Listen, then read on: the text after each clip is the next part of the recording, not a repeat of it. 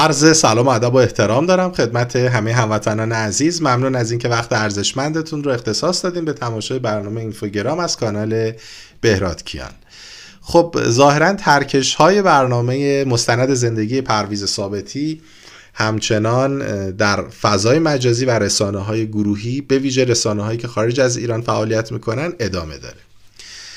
خب شب گذشته یک میزه گردی با حضور ژورنالیست ها و همینطور سازنده مستند زندگی آقای پرویز ثابتی و همینطور تعدادی از موافقین یا مخالفین ایشون در شبکه من تو برگزار شد. خیلی استقبال میشه از اینکه ما بیایم و راجع به هر پدیده و هر موضوعی که انقدر مهمه و می‌تونه به نوعی بخشی از تاریخ معاصر کشور ما رو تحتش تاثیر و تحت شعای خودش قرار بده صحبت بکنیم. من اتفاقا جزو افرادی بودم که هر چند اظهارات آقای پرویز ثابتی رو نقد کردم و با برخیش مخالف بودم. اما طرفدار ابراز این نظرها هستم. یعنی معتقدم که همه این شخصیت ها در هر گروه و دسته که قرار دارن باید این امکان رو داشته باشن بیان زاویه دید خودشون نسبت به هر پدیده ای رو بیان بکنن. حالا ما می‌تونیم مستند به اسناد تاریخی یا حتی با توجه به تجربیاتی که از گذشته داشتیم سخنان این افراد رو بپذیریم یا نپذیریم. این دیگه مسئله دیگری است. اما مشکل اساسی این مستند آقای پرویز ثابتی نیست. مشکل اصلی این مستند مستند سازشه ببینید دوستان وقتی که من به عنوان یک مستندساز به عنوان یک فیلم ساز به سراغ سوژه میرم به سراغ فرد یا پدیده ای میرم و می‌خوام اون رو مورد واکاوی و بررسی قرار بدم در وهله اول باید تمام تلاشم رو بکنم که حدی از بیطرفی رو نسبت به اون آدم داشته باشم. یعنی چی؟ یعنی من زمانی که میرم با آقای ثابتی مصاحبه بکنم فارغ از اینکه آقای ثابتی از نگاه من آدم خوبیه یا آدم بدیه باید بیام وقایع تاریخی که در زمان ایشون رخ داده و عملکرد ایشون رو مورد تجزیه تحلیل قرار بدم. بر مبنای اون ابهامات ذهنی خودم رو در قالب پرسش هایی مطرح بکنم و از ایشون جواب بخوام. حالا یا پاسخ ایشون بنده رو قانع می‌کنه یا قانع نمیشم از دل صحبت ایشون سوالات و پرسش های دیگری مطرح میشه. اما این که من با یک پیشفرز ذهنی که پرویز ثابتی خوبه یا پرویز ثابتی بده پس من بر این اساس برم باهاش گفتگو بکنم اون مستند در نمیاد به تعبیر حالا برخی از منتقدین. اون مستند ساخته نمیشه. چرا؟ چون شما دارید یک روایت یک سویه ای رو سعی می‌کنید به مخاطب خودتون حقنه بکنید. من در برنامه های خودم بارها گفتم گفتم برنامه های من قطعا موافقینی داره و حتما مخالفینی هم داره. و از نگاه های متفاوت شما بنده آموزش می‌گیرم.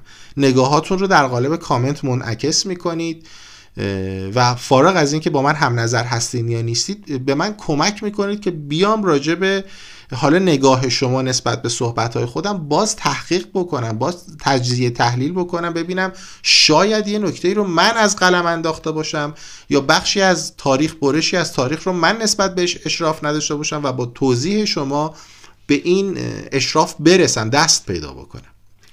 اما وقتی مستندساز میگه که هر کسی که منتقد روایت پرویز ثابتیه یا پنجاه و هفته یا آخونده یا مذهبیه یا چپه یا مارکسیسته یا مجاهده یعنی داره درای نقد رو به سمت خودش و مستندش میبنده. به همین راحتی. وقتی شما میگید همه اونهایی که الان دارن میان نسبت به پرویز ثابتی منفی بافی می‌کنند یا این اتهام رو به ما می‌زنن که ما داریم پرویز ثابتی رو سفید می‌کنیم در دیدگان مخاطبین اینا پنجاه هفتیان اینا نمی‌دونم مجاهدینن. اینا همون تروریستایی که در اون زمان گرفتار ساواک شده بودن. بله پس یعنی شما دارید میگید آقا این روایتی که من میگم درسته و هر کی غیر از این روایت رو بگه این یه انگی باید بهش زده بشه. حتی اگر در بیانتون این گونه نباشه یعنی خود مستندساز دیشب نشسته میگه که آقا چرا اجازه ندیم که قرائت های مختلف روایت های مختلف تاریخی بیان بشه؟ ما روایت آقای پرویز ثابتی رو ثبت کردیم. شما مخالفین هم به روایت های خودتون یا روایت افرادی که مخالف آقای ثابتی فکر می‌کردن رو ثبت بکنید. بگذاریم همه دسترسی آزادانه داشته باشن به اطلاعات و وقایع تاریخی و روایت های گوناگون. این حرف بسیار حرف درستیه ولی آیا این مستندساز با توجه به گفته های خودش در بعد از پخش هر قسمت از این مستندها که میومد میشست جلوی امید خلیلی تجریشی و تا یه نفر می‌خواست بیاد انتقادی رو مطرح بکنه می‌گفت اینا اینا همون پنجاه هفتیان اینا همون تروریستان اینا همونایی که پدر مملکت رو در آورده بودن. نه آقا خیلی از مورخین هستن که ارادتشون و علاقهشون به حفظ تاریخ و هویت تاریخی این مملکت اجازه نمیده که هر روایت و هر قرائتی که صورت می‌گیره رو اینا سمون بکم بشینن و هیچی نگن. طبیعی است که اگر احساس بشه که بخشی از اون روایت با تاریخ تطابق نداره یا اصلا نه اینکه بگیم دروغه نه اینکه بگیم اتفاق نیفتاده تحریف شده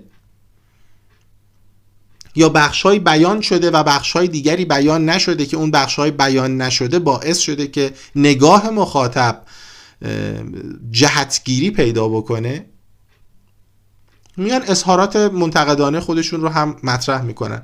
مگر هر کسی که آقای پرویز ثابتی رو قبول نداره الزاما 57 یا حامی انقلاب 57 من خیلی از طرفداران سامانه پادشاهی رو می‌شناسم که اینها اصلا وقتی مستند رو دیدن از بالا تا پایین شبکه مناتو رو به انواع و اقسام فحاشی ها مزین کردن. چرا که می‌گفتن که این اصلا دروغ داره میگه. این داره لاتائلات میبافه.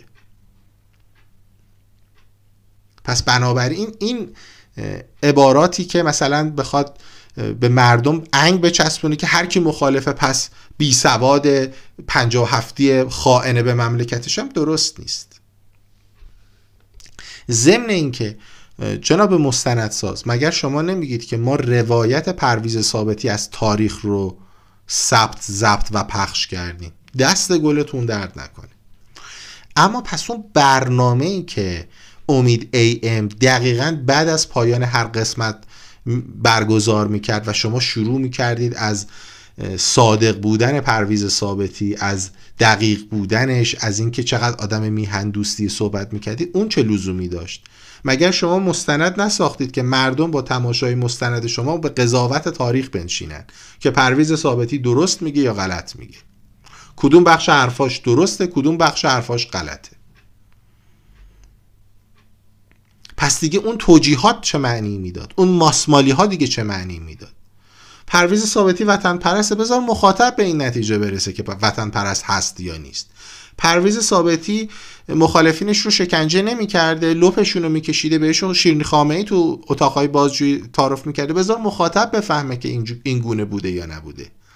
شما میگی که شما در همین برنامه دیشب آقای مستندساز میگه که آیا در ساواک شکنجه بوده یا نه؟ بله منم فکر می‌کنم بوده. مگه در CIA مگه در موساد مگه در کجا شکنجه نیست؟ خب مگه هر کسی در هر کجای دنیا یه خبت و خطایی انجام بده؟ ما باید همون رو کپی بکنیم. بعدشون عنوان می‌کنن که حالا شکنجه که بوده من هم احتمال میدم که بوده باشه ولی سیستماتیک نبوده. مگه شما بازجو بودی؟ اصلا مجازات سیستماتیک یعنی چی؟ مجازات سیستماتیک یعنی آقا یه گروه از مخالفین که استنباط می شده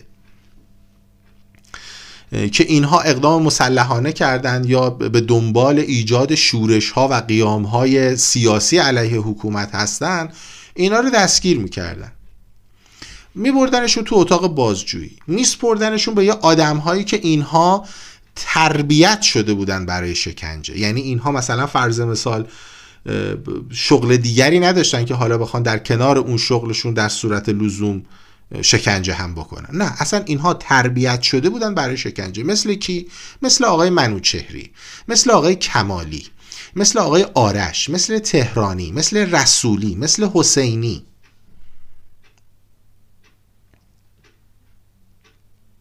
اینها تربیت شده بودن برای چی؟ برای اینکه افرادی رو که به نظر می رسید اینها خیلی رازدارن یا به نوعی به راحتی نمیشکنن و با دو تا سوال و یک کشیده رفیقشون دوستشون یا فعالیتشون رو لو نمیدن اینا رو میبردن تو اتاق شکنجه. انواع اقسام سیستم ها و دستگاه های شکنجه هم موجود بود. از اون تخت فلزی که طرف رو میبستن به شلاق می‌زدن تا اون قفسی که به اندازه یه کولر بود از این کولر آبی های قدیمی به ویژه عزیزانی که خارج از ایران هستن شاید یادشون بیاد که طرف رو مچاله می‌کردن توی اون در رو میبستن و به میله ها برق وصل می‌کردن. ناخون کشی اتو گذاری این دستگاه ها هنوزم موجوده ها یعنی توی شما توی موزه هایی که میرید هنوز این دستگاه ها هست. خب سیستماتیک یعنی چی؟ یعنی هر فردی که چنین احتمالی نسبت به عمل کردش ضد سیستم می‌رفت و میبردن تو اون اتاق شکنجش می‌کردن تا مغور بیاد تا بالاخره یا حرف بزنه یا به یه شکلی اینا بفهمن که نه این واقعا مثل اینکه در جریان نیست. و الان منوچهری که 6 کلاس هم سواد نداشت مثلا چه قابلیتی در ساواک می‌تونست داشته باشه با دو متر قد و یه متر پهنای شونه؟ با اون سیبیل عجیب و غریب.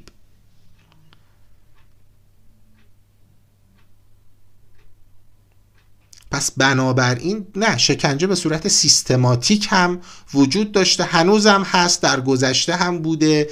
در CIA و موساد و جاهای مختلف هم به صورت سیستماتیک داره اعمال میشه. خیلی ها میان راجع به علمی به اسم علم شکنجه صحبت می‌کنن که ما چگونه اون آدمی که مقابل مقابلمون نشسته رو بشکنیم چه تاثیر روانی و جسمی بر او داشته باشیم که این لو بده بیان بکنه. بنابراین این هم خودش توجیه دیگه. آقا به صورت سیستماتیک نبوده. عزیز من شما کجا می‌دونی بوده یا نبوده؟ من میگم به استناد دستگاه شکنجه و مستند بر افرادی که از گروه های مختلف اذعان کردن و اعتراف کردن که چگونه شکنجه شدن من میگیم هست. حالا شما میگید سیستماتیک نبوده بیا توضیح بده که چرا میگی سیستماتیک نبوده؟ مبتنی بر چه سندی میگی نبوده؟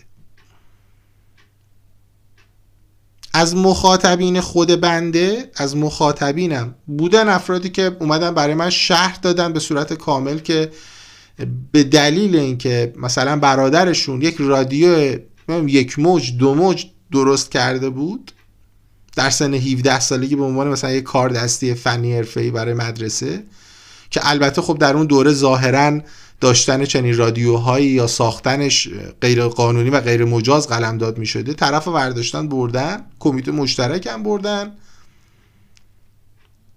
کلی هم بلا سرش آوردن.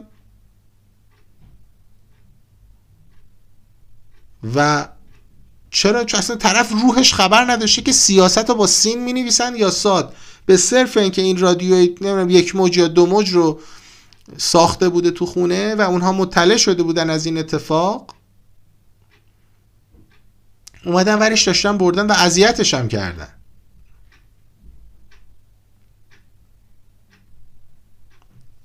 پس ببینید ما اگر می‌خوایم روایتی رو بله من قبول دارم جمهوری اسلامی یا گروه های مخالف حکومت پهلوی بعد از پیروزی انقلاب تاریخ رو تحریف کردن به نفع خودشون به نفع خودشون تاریخ رو مصادره کردن. خیلی از اقداماتی رو که از دوره قبل از انقلاب شهر می‌دادن مبتنی بر تحریفات یا اون نگرشی بود که اینها خودشون داشتن و شاید هیچ تطبیقی با واقعیت هم نداشته باشه. این که من میگم آقای پرویز ثابتی بخشی از حرفاشون تحریف آمیزه یا این شبکه من تو داره سعی می‌کنه که به مخاطب خودش به ویژه نسل جوانی که شاید تو این زمین ها مطالعه زیادی نداشته باشن حقنه بکنه به نوعی تزریق بکنه در ذهنشون که روایت ثابتی روایت درستی از تاریخ گذشته کشور ما و مدام تاکید بکنه روی میهندوستیشون روی صداقتشون روی شوخ طبعیشون.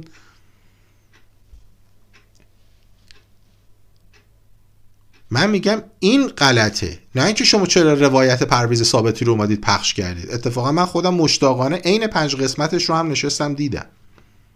بعضی از قسمت ها رو سعی می‌کردم یکی دو بار یعنی گوشه هایی از مثلا مستند یک ساعته رو سعی می‌کردم دوباره بیارم از عقب چون تو یوتیوب هم اینها نشر می‌شد. بیارم و دوباره گوش کنم با دقت بیشتری گوش کنم. من اصلا مخالف پخش روایت های مختلف تاریخی نیستم اما اگر شما می‌خواید روایتی رو نقل بکنید یا نشر بدین دیگه ماسمالی کردن بعدش معنی پیدا نمی‌کنه. اجازه بدید مخاطب به این درک برسه که پرویز ثابتی خوبه یا بده. و اگر به این درک رسید که پرویز ثابتی احتمالا خوب نیست نیاین بهش انگ و اتهام پنجا و هفتی و تودهی بودن و نمی‌دونم مارکسیست بودن و تروریست بودن به چسبونی اینه درد اصلی و مشکلی که ما با برخی از این دوستان مستندساز داریم از اینجا نشأت می‌گیره.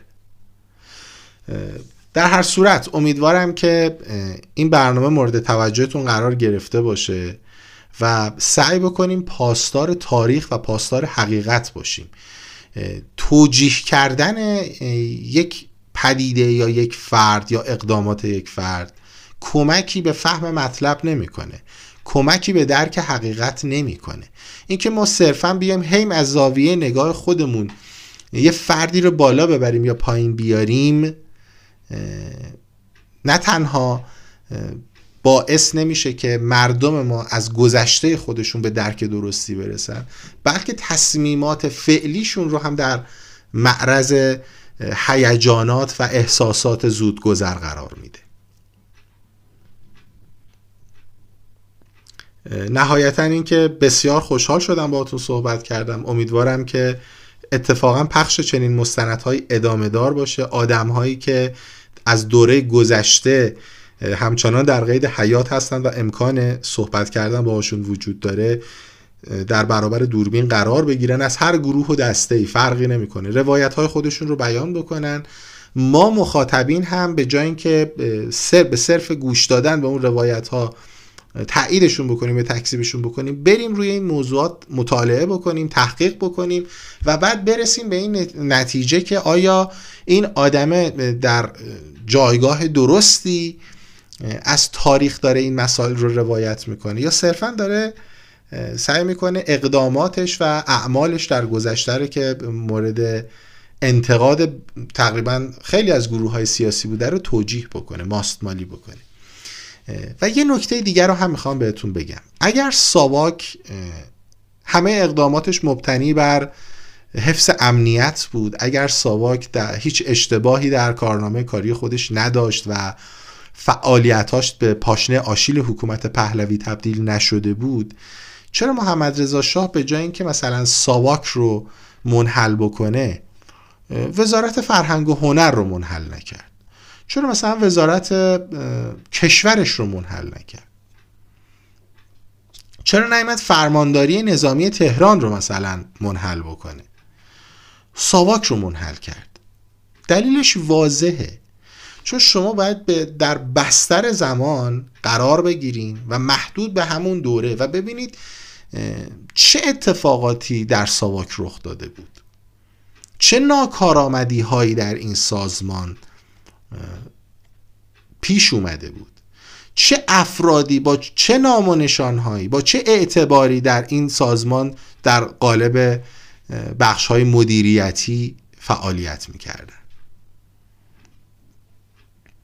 اینکه شما میگید که نمی‌دونم ما فقط افرادی که فعالیت های تروریستی می‌کردن رو مورد بازجویی قرار می‌دادیم مورد تعقیب قرار می‌دادیم. آقای پرویز ثابتی گوگوش سیاوش قمیشی ایرج جنتی عطایی اسفندیار منفردزاده داریوش اقبالی بابک بیات اردلان سرفراز شهیار غنبری فرهاد مهراد. اینها تروریست بودن. اینها می‌خواستن حکومت رو تغییر بدن. اصلا تواناییش رو داشتن. به صورت منسجم و سازمان یافته کار می‌کردن. اینها رو چرا ساواک بردین خب مخاطبا اینا رو نمی‌دونن. فکر می‌کنن شما فقط یه سری آدمخور رو بردید تو ساواک و اینها رو محکوم کردی. هم حتما بعد طرف بمبگذار بوده باشه حمله اسلحه کرده باشه نمی‌دونم اقدام تروریستی مرتکب داده تا شما بگیریدش و ببریدش و مثلا امنیت جامعه رو تأمین بکنید. شما بعد از اجرای ترانه گل بارون زده چرا؟ اینو دیگه من نمیگم و جمهوری اسلامی هم نمیگه. سیاوش قمیشی در مصاحبه با همین شبکه مناتو بیان می‌کنه. میگه منو داریوش و ایرج جنتی رو بردن ساواک.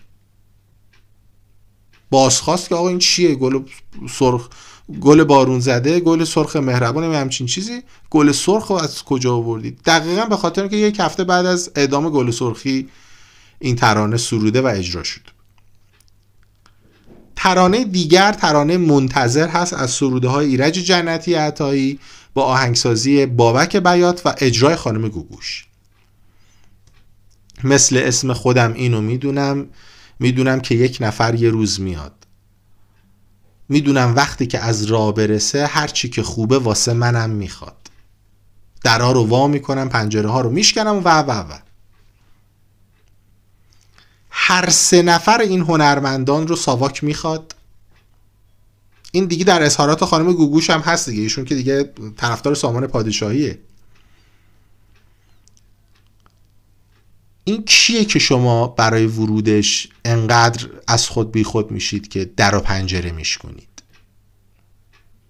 این کیه که می‌خواد برای شما این همه چیزای خوب خوب بیاره؟ پرسش اصلی از هر سه هنرمندی که ساواک خواستتشون.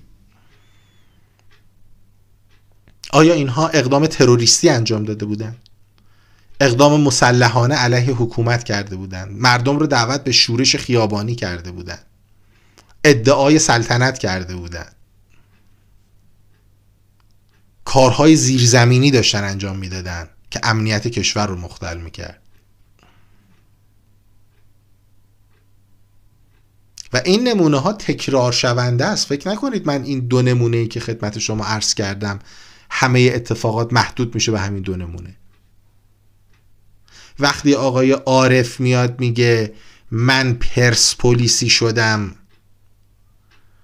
چون می‌گفتن تاج درباریه و سلطنتیه پس یعنی یه اتفاقاتی او زیر پوست شهر داشت میافتاد.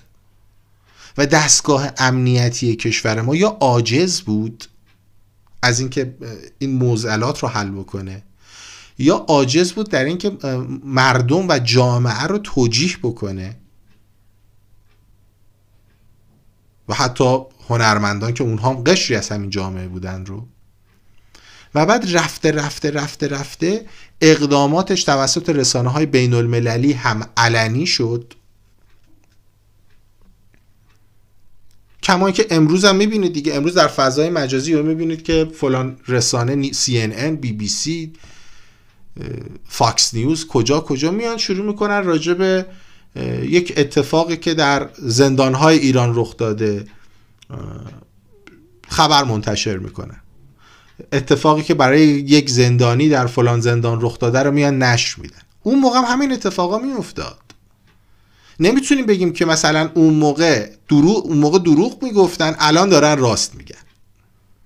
یعنی ما باید یک مناطع اعتباری برای رسانه ها قائل باشیم یا نباشیم دیگه. نمی‌تونیم بگیم حالا تو اون دوره دروغ می‌گفتن تو این دوره دارن راست میگن.